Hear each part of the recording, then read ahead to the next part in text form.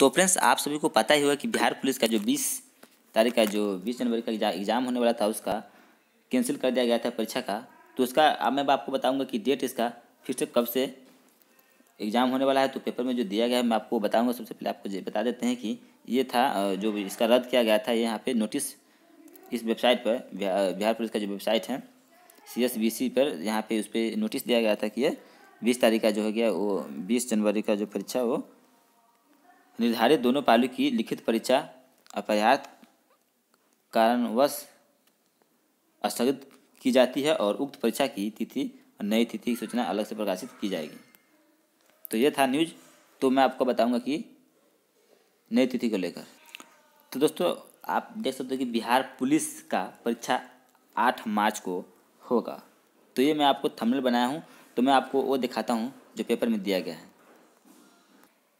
तो फ्रेंड्स, ये रहा पेपर का कटन यहाँ पे आप देख सकते हैं कि यहाँ पे लिखा गया है कि आठ मार्च को हो सकती है सिपाही भर्ती का परीक्षा। तो दोस्तों, यहाँ पे इसके डाल लेते हैं, तभी समझ में आए कि क्या कह रहा है यहाँ पे। तो बिहार पुलिस, जी दोस्तों, यहाँ पे लिखा गया है कि सिपाही भर्ती की बीस जनवरी की टरी परीक्षा आठ मार्च को हो सकती है। केंद्रीय चयन पार्षद सिपाही भर्ती के अध्यक्ष के एस द्विवेदी के गृह विभाग के अपर मुख्य सचिव तो एक मुख्य सचिव के द्वारा यहाँ पे इसका नाम जो है गया आमिर सुबहानी के साथ मंगलवार को हुई बैठक में इसकी नई तिथि पर अंतिम सहमति बन गई है।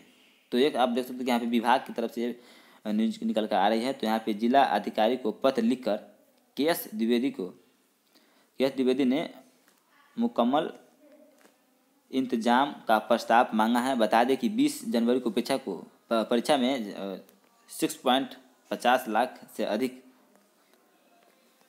अभ्यर्थी को पाँच सौ पचास केंद्रों पर शामिल होना था, यानी कि परीक्षा लेने वाली थी तो यहाँ पे परीक्षा स्थगित कर दी गई थी। वैसे आठ मार्च को अंतर्राष्ट्रीय महिला दिवस और दस मार्च को होली है। तो अड़तीस ज़िले में पाँच सौ पचपन केंद्र बनाए गए हैं। परीक्षा दो पाली में होगी।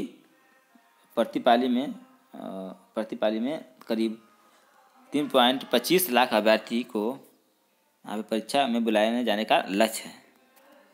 तो फ्रेंड्स स्थगित हो गई थी बीस जनवरी की परीक्षा और केंद्रीय चयन पार्षद सिपाही भर्ती के अध्यक्ष ने सभी जिलाधिकारियों को पत्र लिखा गया है, जो कि एक अच्छी बात है। यहाँ पे गृह विभाग के अपर मुख्य सचिव आमिर सुबरानी के साथ हुई बैठक में बनी सहमति। तो जैसे ही वहाँ पे सहमति मिल जाएगा तो उसके बाद इसमें इसका जो हो गया एग्ज़ाम आठ मार्च को हो सकती है। तो दोस्तों, यहाँ पे देख सकते हो कि आठ मार्च को हो सकती है सिपाही भर्ती का परीक्षा यानी कि संभावित है, ये नहीं है कि आपको होएगा तो ये एक न्यूज़ निकल कर अपडेट आ रहा था तो मैं आपको लोगों को शेयर कर दिया हूँ कि इसमें परीक्षा से जुड़ी ये न्यूज़ निकल कर आ रही है। तो दोस्तों, यही था आज का अपडेट दोस्तों, उम्मीद करता हूँ वीडियो आपको अच्छा लगा हो तो वीडियो को लाइक और वीडियो तक को सब्सक्राइब ज़रूर करें, क्योंकि इसी में बिहार जब से रिलेटेड पल पल खबर लेके आता रहता हूँ। Thank you bye bye